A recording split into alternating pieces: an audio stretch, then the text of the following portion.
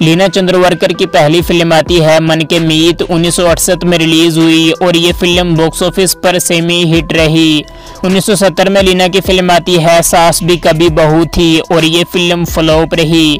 इसके बाद इनकी फ़िल्म आती है जवाब और ये फ़िल्म फ्लॉप रही। इसी इनकी अगली फ़िल्म आती है हम जोली और दोस्तों ये फ़िल्म बॉक्स ऑफ़िस पर सुपर हिट डिक्लेयर की गई।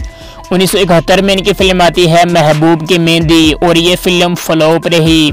इसके बाद इनकी फ़िल्म आती है मैं सुंदर हूँ और ये फ़िल्म सेमी हिट डिक्लेयर की गई।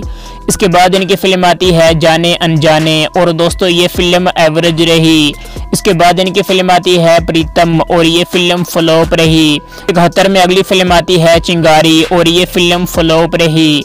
के बाद इनकी फ़िल्म आती है रखवाला और दोस्तों ये फ़िल्म एवरेज डिक्लेयर की गई।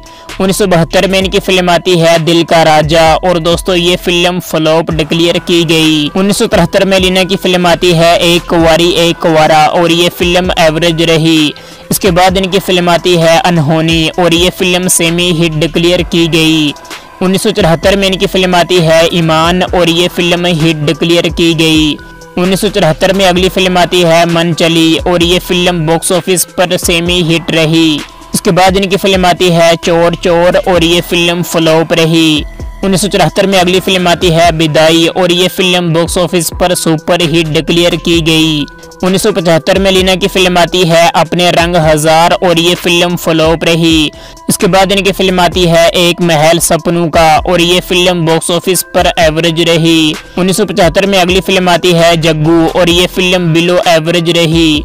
1975 में लीना की फ़िल्म आती है कैद और ये फ़िल्म बॉक्स ऑफ़िस पर हिट डिक्लेयर की गई। उन्नीस में लीना की फ़िल्म आती है बेरंग और ये फ़िल्म फ्लॉप रही।